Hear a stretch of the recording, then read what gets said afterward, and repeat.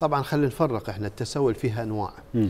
آه، النوع اللي خاص بالاتجار بالبشر هو الجماعات اللي تمتهن هذا الموضوع اللي تستغل ال- الأطفال أو تستغل أطفال و- الكبار نعم. بقضية التسول أما الشخص اللي يخرج متسول ما عنده يعني مصدر أو كذا هذا. هذا يعني ما ينضوي تحت هذا الإطار فقط الأشخاص اللي هم ضمن تعاريف الجريمة المنظمة مم. يقومون ب آه، يعني آه، إيواء مجموعة أو استغلالهم لهذا الغرض نعم. فقط هاي اللي تدخل ضمن هذا الاطار فمع ذلك ليش منتشرين هواي المتسولين الأطفال يعني وخاصة الأطفال ال ال يعني الإناث يعني هي كل جريمة فيها مبادئ حتى تنتشر مم. أول مبدأ يحقق الربح مم. المادي وهاي تحقق لهم أرباح مادية.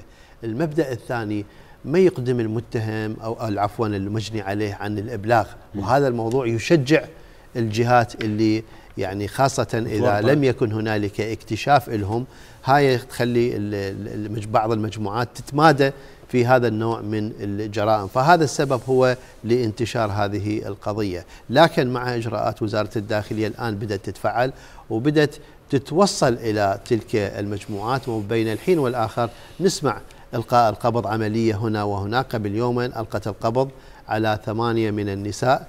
آه، يتاجرن بال ال- يعني الكاظميه يمكن لا بالرصافة مم. منطقة الرصافة في قضية الاتجار بالدعارة مم. ها آه، يمكن أني اللي اللي بالكاظميه الخبر اللي أتذكر مر علي بيع ها؟ الأطفال بيع ها بيع الأطفال بال- إيه، اي بيع طفل. أيضا